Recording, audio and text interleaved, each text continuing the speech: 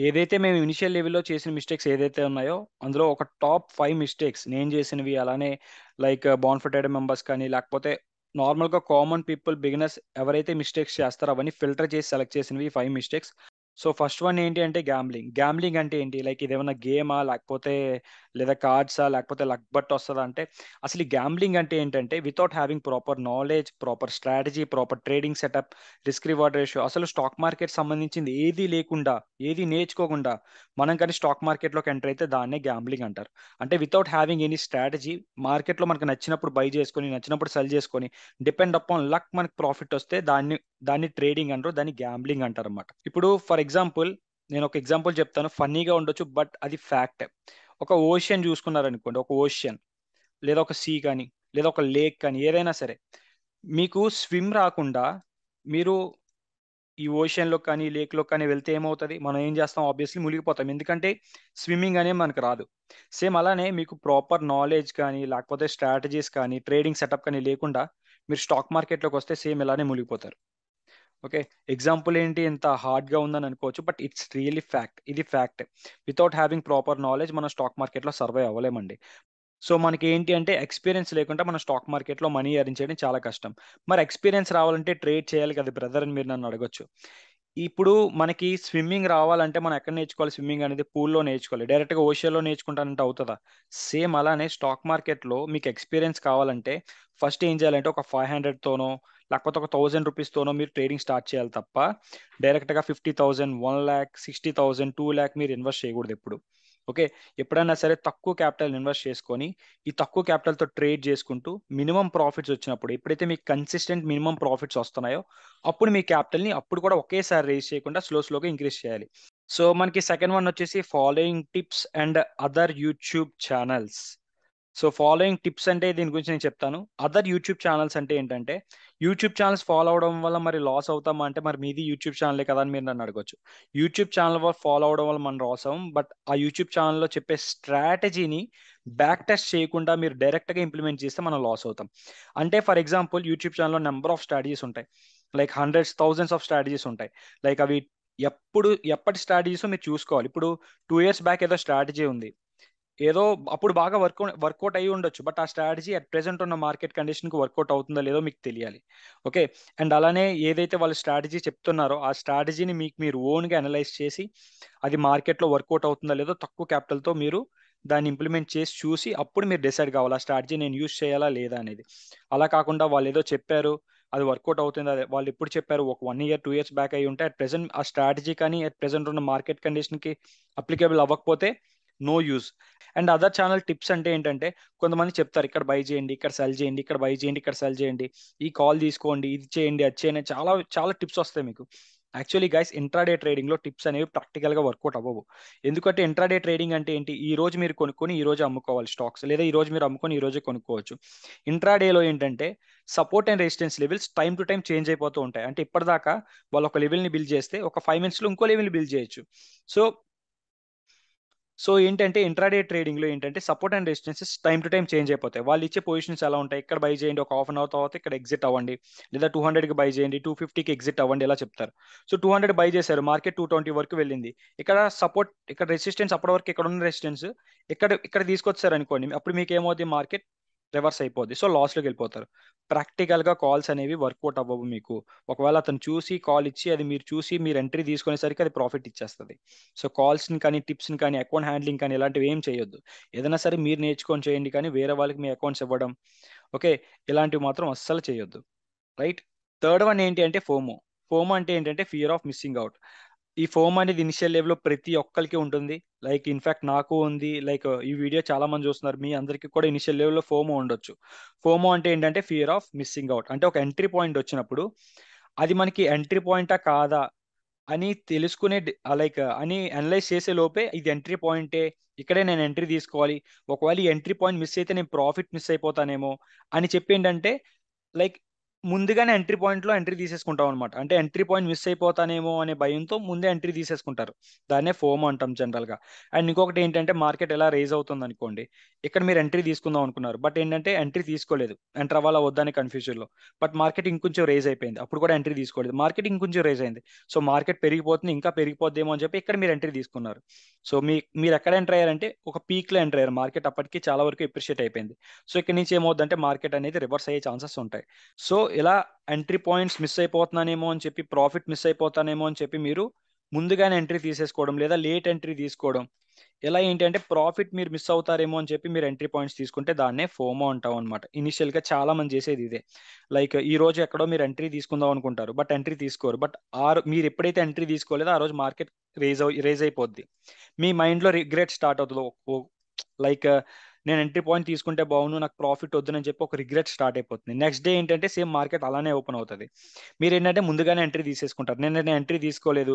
ఈ రోజు నేను ఎంట్రీ తీసుకోకపోతే నిన్న ప్రాఫిట్ మిస్ అయ్యాను కదా ఈ రోజు ప్రాఫిట్ మిస్ అవ్వకూడదు అని చెప్పి మీరు ఈ రోజు ఇక్కడ ఎంట్రీ పాయింట్ తీసేసుకుంటారు. మార్కెట్ ఏమవుతుంది ఫాల్ అయిపోతుంది అనమాట so beyond expectations without having any strategy మనం ఎంట్రీ నిన్న అలా జరిగింది ఈ రోజు అలా జరగచ్చు నిన్న ఎలా ప్రాఫిట్ మిస్ అయిపోయింది ఈ రోజు ఎలా ప్రాఫిట్ మిస్ అవ్వకూడదని చెప్పి మనం త్వరగా ఎంటర్ అవ్వడం కానీ లేట్గా ఎంటర్ అవ్వడం కానీ లేదా మధ్యలో ట్రేడ్ ఒక మార్కెట్ ఒక లెవెల్లో వెళ్తున్నప్పుడు మధ్యలో ఎంట్రీ పాయింట్ తీసుకోవడం కానీ ఎలా చేస్తే దాన్నే మనం ఫోమో అంటాం అనమాట సో ఫోమో అనేది మనకి ఉండకూడదు. పర్ఫెక్ట్ ఎంట్రీ అయితేనే మనం ఎంట్రీ పాయింట్ తీసుకోవాలి లేకపోతే మన ఎంట్రీ పాయింట్ అనేది తీసుకోకూడదు. ఓకే? ఇది third point. And fourth one ఏంటి అంటే ఎమోషనల్ ట్రేడింగ్ ఈ ఎమోషనల్ ట్రేడింగ్ జరిగినప్పుడు ఏమవుతుందంటే మనకి రివెంజ్ ట్రేడింగ్ స్టార్ట్ చేస్తాం.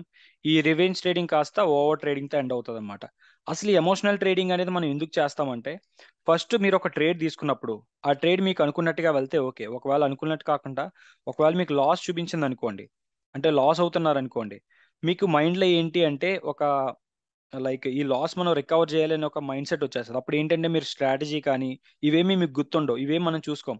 ఈ లాస్ రికవర్ చేయాలనేది ఒక్కటే మన మైండ్లో ఉంటుంది. మిగిలినంతా మనం మర్చిపోతాం అనమాట అప్పుడు మనం ఎమోషనల్ ట్రేడింగ్ అనేది స్టార్ట్ చేస్తాం. ఈ ఎమోషనల్ ట్రేడింగ్ అనేది మెయిన్గా ఎందుకు స్టార్ట్ అవుతుందంటే మీ దగ్గర తక్కువ క్యాపిటల్ ఉన్నప్పుడు తక్కువ క్యాపిటల్తో ఎక్కువ రిటర్న్స్ తీసుకురావాలన్నప్పుడు అంటే ఫర్ ఎగ్జాంపుల్ టెన్ థౌసండ్ ఉంది ఫర్ ఎగ్జాంపుల్. ఎప్పుడో ఒకసారి మీకు టెన్ థౌసండ్తో వన్ కే రిటర్న్స్ వచ్చాయి అంటే టెన్ పర్సెంట్ రిటర్న్స్ వచ్చాయి వన్ డేలో. ఎవ్రీ డే ఇలా టెన్ పర్సెంట్ రిటర్న్స్ తీసుకొద్దామని మీ మైండ్లో ఫిక్స్ అయిపోతారనమాట అండ్ ఇలాంటి సందర్భాల్లో తక్కువ క్యాపిటల్తో ఎక్కువ రిటర్న్స్ తీసుకొద్దాం అనుకుంటారు. అండ్ ఇంకొకటి ఏంటంటే మీరు ఎవరి దగ్గర లోన్కి అమౌంట్ తెచ్చారనుకోండి. అంటే ఇంట్రెస్ట్కో లేకపోతే లోన్కో అప్పు తెచ్చి మీరు ట్రేడింగ్ స్టార్ట్ చేస్తున్నారు అనుకోండి మీ మైండ్లో ఒకటి ఫిక్స్ అయిపోతుంది. సో ఇతనికి నేను అమౌంట్ ఇవ్వాలి నేను ఎవ్రీ డే ట్రేడ్ చేయాలని చెప్పి మార్కెట్ కండిషన్ బాగాలేనప్పుడు కూడా మీరు ట్రేడ్ అనేది స్టార్ట్ చేస్తారు. సో ఇలాంటప్పుడు ఏంటంటే మీకు ఎమోషనల్ ట్రేడింగ్ అనేది స్టార్ట్ అయిపోతుంది. మీ మైండ్లో ఏంటంటే మార్కెట్ పడిపోతున్న ప్రతిసారి మీరు లాస్ అవుతున్న ప్రతిసారి ఇది రికవర్ చేయాలి నేను ఇది రికవర్ చేయాలని చెప్పి మీరు ఏం చేస్తారంటే రివెంజ్ ట్రేడింగ్ స్టార్ట్ చేస్తారు. అంటే ఏంటో తెలుసా? ఒక ఫిఫ్టీ థౌసండ్తో మీరు స్టార్ట్ చేస్తే ట్రేడింగ్ మీకు ఒక టెన్ కే లాస్ వచ్చింది అనుకోండి అక్కడ. ఫర్ ఎగ్జాంపుల్ అక్కడ మీకు ఒక టెన్ కే లాస్ అయ్యారు. మీరు అప్పుడు ఏం చేస్తారంటే రివెంజ్ ట్రేడింగ్ ఏం చేస్తారు? ఈ ఫిఫ్టీ కేకి ఇంకొక ఫిఫ్టీ కే మీ క్యాపిటల్లో యాడ్ చేసేస్తారు. అంటే ఎక్కువ క్యాపిటల్ ఉంటే మనం రికవర్ చేసేయచ్చు కదా అని చెప్పి మీరు ఉన్న క్యాపిటల్తో కాకుండా ఎక్స్ట్రా క్యాపిటల్ అందులో యాడ్ చేస్తారు. ఈ టెన్ కేని రికవర్ చేయడానికి. అప్పుడు లాస్ ఏమవుద్ది? ట్వంటీ కేకి అయిపోతుంది. రికవర్ చేస్తే ఒకవేళ రికవర్ అవ్వకపోతే లాస్ ఇంకా పెరిగిపోతుంది కదా. అండ్ అప్పుడు మీరు trade by trade trade by trade trade by trade అలా ఓవర్ ట్రేడ్ చేస్తూనే ఉంటారు. ఒక ట్రేడ్ ప్రాఫిట్ వస్తుంది ఇంకో ట్రేడ్ లాస్ వస్తుంది. సో అలా ఏం చేస్తారంటే కంప్లీట్గా మీరు ఏం చేస్తున్నారో మీకు తెలియదు త్రీ థర్టీ అయ్యే వరకు కంప్లీట్గా మీ మైండ్ మీ కంట్రోల్లో ఉండదు. కంప్లీట్ ఓవర్ ట్రేడింగ్ చేస్తారు. సో ఎమోషనల్ ట్రేడింగ్ మనకి రివెంజ్ ట్రేడింగ్కి దారి తీస్తుంది. రివెంజ్ ట్రేడింగ్ నుంచి ఓవర్ ట్రేడింగ్ చేస్తాం. ఓవర్ ట్రేడింగ్ నుంచి మనకి లాస్ అనేది ఎక్కువ వచ్చేస్తుంది. సో ఇది మనం చేయకూడదు. ఎమోషనల్గా ట్రేడ్ చేయకూడదంటే మీరు ఏం చేయాలి? ఏం చేయాలంటే మినిమం ప్రాఫిట్స్ మీరు తీసుకోవాలి. అంటే తక్కువ ప్రాఫిట్స్ మాత్రమే మీరు తీసుకోవాలి. అండ్ ఇంకొకటి ఏంటి అంటే ఎక్కడైనా సరే లోన్ తెచ్చి మీరు ట్రేడ్ తీసుకోకూడదు. మీకు ప్రెజర్ అనేది ఉండకూడదు మీ మైండ్లో ఒక ఈరోజు నేను ట్రేడ్ చేయకపోతే ఏం అవ్వదు అనే థాట్తోనే ఉండాలి తప్ప ఈరోజు నేను ట్రేడ్ చేయకపోతే ఎంత లాస్ అవుతాను లేదా వీళ్ళకి డబ్బులు ఇవ్వాలి వాళ్ళకి డబ్బులు ఇవ్వాలి. ఇవన్నీ మీరు మైండ్లో పెట్టుకొని అయితే ట్రేడింగ్ చేయలేరండి. ఓకే? సో ఈ మీరు ఎక్కడైనా సరే లోన్ తెచ్చి మీరు ట్రేడ్ చేస్తే మీరు పీస్ఫుల్గా ట్రేడింగ్ చేయలేరు. అది ఎమోషనల్ ట్రేడింగ్కే దారితీస్తుంది. అండ్ ఇంకొకటి ఏంటి అంటే రివెంజ్ ట్రేడింగ్ లైక్ క్యాపిటల్ని రికవర్ చేయాలి లైక్ లాస్ అయిన అమౌంట్ని రికవర్ చేయాలని చెప్పి ఇంకా ఎక్కువ అమౌంట్ యాడ్ చేయడం.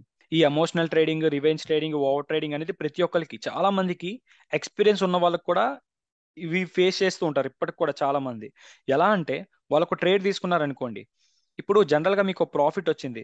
టూ కే ప్రాఫిట్ వస్తే మీరు ట్రేడింగ్ స్టాప్ చేసేసారు అనుకోండి at the same time two K ప్రా టూ కే లాస్ వచ్చినా సరే మీరు ట్రేడింగ్ ఆపేస్తారా? నేను చెప్పిన పాయింట్ మీకు అర్థమైందా? మీకు ప్రాఫిట్ వచ్చింది టూ కే సో ఈ రోజు మీకు టూ కే ప్రాఫిట్ వచ్చింది. రెగ్యులర్గా టూ కే వస్తుంది. ఈ రోజు టూ కే ప్రాఫిట్ వచ్చింది. మీరు ఆ రోజుతో ల్యాప్టాప్ క్లోజ్ చేస్తారు? ఓకే అలానే మీకు టూ కే లాస్ వస్తే అక్కడ టూ కే లాస్ కనిపిస్తే మీరు ల్యాప్టాప్ క్లోజ్ చేస్తారా? క్లోజ్ చేయరు. పక్కగా క్లోజ్ చేయరు. ఈ టూ కేని ఫైవ్ కేకి వెళ్ళినా సరే మీరు ల్యాప్టాప్ క్లోజ్ చేయరు. మార్కెట్ మళ్ళీ రివర్స్ అవుతుందేమో మళ్ళీ పైకి వెళ్తుందేమో. సో ఫైవ్ కే లాస్ అంటే మీరు మీ మైండ్ యాక్సెప్ట్ చేయదనమాట అది ఎగ్జిట్ అవ్వాలని మీకు అనిపించదు. ఎందుకు అంటే లాస్ ఎక్కువ కదా. సో ఎప్పుడో ఒకసారి మీకు ఏంటి అంటే ఇలా మైనస్లోకి వెళ్ళి ప్లస్లోకి వెళ్ళే ఛాన్ రోజులు అయ్యి ఉంటాయి. లైక్ ఫైవ్ కే లాస్కి వెళ్ళి మళ్ళీ two K plus three K ప్లస్కి వెళ్ళిన రోజులు ఒకటి రెండు రోజులు ఉంటాయి. మీ మైండ్లో అవే గుర్తు వస్తాయి తప్ప లాస్ అయిన రోజులు ఏవి గుర్తుండవు. మీరు ఏం చేస్తారంటే హోల్డ్ చేస్తారు లాస్ అలా హోల్డ్ చేస్తారు. లాస్ ఏమవుతుంది టెన్ కేకి వెళ్ళిపోద్ది. ఇంకా టెన్ కేకి వెళ్ళిందంటే లాస్ మీరు మీ మైండ్ అస్సలు యాక్సెప్ట్ చేయదు. మీకు ఈ లాస్ని ఎగ్జిట్ చేయాలన్న ధైర్యం కూడా రాదు. మీరు ఏం చేస్తారు? ఏం చేయరు అలా వదిలేస్తారు. పోతే పోయింది. ఇంకా గివ్ అప్ ఇచ్చేస్తారు మీరు మార్కెట్కి. సో అప్పుడు మీ బ్రెయిన్ పనిచేయదు స్ట్రాటజీ యూజ్ చేయరు ఏది చేయరు అలా మార్కెట్ని వదిలేస్తారు. అందుకే ఏంటంటే లాస్ని ఎప్పుడు హోల్డ్ చేయకూడదు. ఎప్పుడైనా సరే లాస్ని హోల్డ్ చేయకూడదు. లాస్ మీకు ప్రాఫిట్ మినిమం ప్రాఫిట్ వచ్చినప్పుడు ఎగ్జిట్ ఎలా అయిపోతున్నారో మినిమం లాస్ వచ్చినప్పుడు కూడా మీరు అలా ఎప్పుడైతే ఎగ్జిట్ అవుతారో అప్పుడే మీ రిస్క్ రివార్డ్ రేషియో పర్ఫెక్ట్గా ఉన్నట్టు. అలా కాకుండా మీరు లాస్ని ఎక్కువ తీసుకొని ప్రాఫిట్ని తక్కువ తీసుకొని అదే మీకు మీరు అలవాటు చేసుకున్నారంటే ఎప్పుడైతే మీరు హయ్యర్ క్యాపిటల్తో ట్రేడ్ చేస్తారో అప్పుడు దాని ఇంపాక్ట్ ఖచ్చితంగా ఉంటుంది. సో మినిమం ప్రాఫిట్ వచ్చినప్పుడు ఎలా ఎగ్జిట్ అవుతున్నారో మినిమం లాస్ వచ్చినప్పుడు కూడా అలానే ఎగ్జిట్ అయిపోండి. ఏమైంది? ఇంకొక ఎంట్రీ పాయింట్ వస్తే మీరు ఎంట్రీ తీసుకోవచ్చు. ఓకే ఇది ఫోర్త్ పాయింట్ మనం తీసుకోవాల్సిన ప్రాఫిట్ కన్నా ఇంకా ఎక్స్ట్రా ప్రాఫిట్ మనం ఎక్స్పెక్ట్ చేస్తే మార్కెట్ నుంచి దట్స్ ఓకే అలా కాకుండా ఇంకా ఇంకా ఇంకా మన మన ప్రాఫిట్కి అంటూ లిమిట్ లేకుండా పోతే దాన్ని గ్రీడీనెస్ అంటాం. అంటే మీరు రోజు ఒక థౌసండ్ రూపీస్ ఎర్న్ చేస్తున్నారు అనుకోండి మార్కెట్ నుంచి ఎవ్రీడే థౌసండ్ రూపీస్ ఎర్న్ చేస్తున్నారు. ఈరోజు మార్కెట్ మూమెంటం బాగుంది. మార్కెట్ కంటిన్యూస్గా బై ఆన్ డిప్స్లో వెళ్తుంది అనుకోండి థౌసండ్ రూపీస్ కాదు ఈరోజు మీకు టూ థౌసండ్ రూపీస్ ప్రాఫిట్ వచ్చింది. మీరు ఏమనుకుంటారు? ఫస్ట్ థౌసండ్ రూపీస్ వస్తే చాలు ఈ రోజు ట్రేడింగ్ ఆపేద్దాం అనుకుంటారు నైన్ ఫిఫ్టీన్కి థౌసండ్ వచ్చిన తర్వాత మార్కెట్ పెరుగుతుంది కదా ఇంకో ఇంకొక కొంత ప్రాఫిట్ బుక్ చేద్దాం అనుకుంటారు. మార్ టూ థౌసండ్ ప్రాఫిట్ వస్తుంది.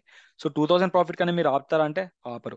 సో మార్కెట్ మూమెంటం బాగుంది కదా ఇంకా ప్రాఫిట్ ఎక్స్పెక్ట్ చేద్దాం అని చెప్పి త్రీ థౌసండ్ వరకు చూస్తారు. మార్కెట్ ఏంటంటే త్రీ థౌసండ్ వరకు వెళ్ళదు. వెళ్ళదు. పక్కగా వెల్ పక్కగా వెళ్ళదు అంటే వెళ్ళదని నేను ఎందుకు చెప్తున్నా అంటే జనరల్గా ఎక్కువ కేసెస్లో మీకు ఇలా జరుగుతుంది. సో నెక్స్ట్ ఏంటంటే త్రీ థౌసండ్ వరకు మీరు ఎక్స్పెక్ట్ చేస్తారు. మార్కెట్ ఏమవుద్ది? ఇక్కడ వరకు వెళ్ళి ఇక్కడ నుంచి హ్యూజ్ వేలా ఫాల్ అయిపోద్ది. ఏదైతే మనం త్రీ థౌసండ్ ఎక్స్పెక్ట్ చేసామో ఈ త్రీ థౌసండ్ కాదు టూ థౌసండ్ కాదు వన్ థౌసండ్ కాదు మనం మైనస్ టూ హండ్రెడ్లోనో లేదా మైనస్ త్రీ హండ్రెడ్లో అని ఎండ్ అవుతాం. అప్పుడు ఏం చేస్తాం? ఇలా అయ్యో one thousand two thousand profit ఉండేది నేను మైనస్లోకి తీసుకొచ్చాను మళ్ళీ ట్రేడ్ చేద్దామని చెప్పి మళ్ళీ ఇక్కడ ఏం చేస్తారు? ట్రేడ్ చేయడం స్టార్ట్ చేస్తారు. సో మైనస్ టూ హండ్రెడ్ని కాస్త ప్లస్లోకి తీసుకొద్దామని చెప్పి ఇంకో ట్రేడ్ తీసుకుంటారు. ఇది మైనస్ టూ హండ్రెడ్ కాస్త మైనస్ సిక్స్ హండ్రెడ్లోకి వెళ్ళిపోద్ది. సో అలా అలా ఏం చేస్తారంటే కంప్లీట్గా మీ క్యాపిటల్ అనేది పోగొట్టేస్తారు. దీన్నే ఓవర్ ట్రేడింగ్ అంటాం. ఇందాక మనం మాట్లాడుకున్నాం కదా. గ్రీడీనెస్ వాళ్ళు చూడండి ఓవర్ ట్రేడింగ్కి ఇది ఒక వే. సో గ్రీడీనెస్ వల్ల మనకి ఓవర్ ట్రేడింగ్ జరుగుతుంది. మెయిన్ థింగ్ ఏంటి అంటే ఎంతైతే మీరు ప్రాఫిట్ తీసుకోవాలో అంత ప్రాఫిటే మనం తీసుకోవాలి. మీ ప్రాఫిట్కి లిమిట్ లేకుండా పోతే అది ఏంటంటే మీకు లాసే చూపిస్తుంది. At the end of the day మీకు లాసే వస్తుంది. సో మినిమం ఇంత ప్రాఫిట్ అని పెట్టుకోండి. ఈ రోజు ఇంత ప్రాఫిట్ ఎర్న్ చేస్తే నేను ఎగ్జిట్ అయిపోవాలి మార్కెట్ నుంచి అని పెట్టుకోండి. ఆ ప్రాఫిట్ కూడా బేస్డ్ ఆన్ యువర్ స్ట్రాటజీ ఉండాలి.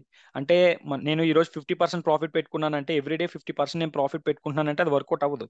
ఎవ్రీడే నేను two percent profit పెట్టుకున్నానంటే okay every day one or two percent more than enough సరిపోద్ది. Monthly forty thirty to forty percent return వస్తుంది నాకు. సో ఎవ్రీడే టూ పర్సెంట్ వస్తే నేను ట్రేడింగ్ ఆపేస్తాను. అలా మీరు పెట్టుకుంటే ఓకే లేదు కొన్ని కొన్ని రోజులు మార్కెట్ బాగుంటుంది. అప్పుడు మీరు మహా అయితే ఒక three percent four percent market నుంచి ఎక్స్పెక్ట్ చేయొచ్చు. అలా అలా కాకుండా ఎవ్రీడే నేను టెన్ పర్సెంట్ మార్కెట్ నుంచి కావాలి నాకు. టెన్ పర్సెంట్ ప్రాఫిట్ వచ్చినా సరే ఎగ్జిట్ అవ్వరు కొంతమంది. ఇంకా ఇంకా ఇంకా కావాలి. సో ఎప్పుడైతే మీరు ఎలా గ్రీడీ అవుతారో అప్పుడు మీ క్యాపిటల్ అనేది కంప్లీట్గా వైపౌట్ అయిపోతుంది. So don't be greedy. మనం గ్రీడీగా ఉండకూడదు. Minimum calculated risk reward ratio calculate చేసుకొని క్యాలిక్యులేటర్ రిస్క్ తీసుకొని రిస్క్ రివార్డ్ రేషియో ఇవన్నీ క్యాలిక్యులేట్ చేసుకొని ఎంతైతే మనం ప్రాఫిట్ కావాలనుకుంటున్నాం అంత ప్రాఫిటే తీసుకోవాలి. ఒకవేళ మీరు ఇంకా ఎక్కువ ప్రాఫిట్ తీసుకోవాలనుకుంటే మీరు స్టాప్ లాస్ ట్రిగర్ చేయడమో లేకపోతే మీకు ప్రాఫిట్ వచ్చిన తర్వాత మీరు ఆ ప్రాఫిట్ పైన స్టాప్ లాస్ పెట్టుకోవడం ఎలా చేయాలి తప్ప మీ ప్రాఫిట్ని రిస్క్లో పెట్టుకొని మీ క్యాపిటల్ ఎప్పుడు పోగొట్టుకోకూడదు. సో గ్రీడీగా ఉండకూడదు. సో ఇప్పుడు మనం ఫైవ్ మెయిన్ మిస్టేక్స్ గురించి మనం డిస్కస్ చేసుకున్నాం. ఫస్ట్ వన్ ఏంటి అంటే నాలెడ్జ్ లేకుండా ట్రేడ్ తీసుకోవడం వితౌట్ ప్రాపర్ స్ట్రాటజీ కానీ సెటప్ కానీ లేకుండా ట్రేడింగ్ తీసుకోవడం. లైక్ అది గ్యామ్లింగ్ అంటామని చెప్పాను. అండ్ సెకండ్ వన్ ఏంటి అంటే following other channel tips and YouTube ఛానల్లో స్ట్రాటజీస్ని బ్యాక్ టెస్ట్ చేయకుండా డైరెక్ట్గా ఇంప్లిమెంట్ చేయడం. ఇది మనం సెకండ్ థింగ్ చెప్పాం. అండ్ థర్డ్ వన్ ఏంటంటే FOMO fear of missing out and fourth one ఏంటంటే revenge trading emotional trading over trading ఇవన్నీ మనం చేయకూడదని చెప్పాం. And fifth one greediness greediness అనేది మనకి ఎంత తక్కువ ఉంటే స్టాక్ మార్కెట్లో మీరు అంత లాంగ్ టర్మ్ ఉంటారు అనమాట okay so these are the five common mistakes ఇంకా ఏమైనా మిస్టేక్స్ నేను మిస్ చేసినా లేకపోతే మీకు ఏమైనా అనిపించినా ఎక్స్పీరియన్స్ చేసినా సరే కింద కామెంట్ బాక్స్లో మెన్షన్ చేయండి. అండ్ ఈ వీడియో నచ్చితే లైక్ చేయండి షేర్ చేయండి. And don't forget to subscribe బాన్ ఫెట్ ట్రేడర్ థ్యాంక్ యూ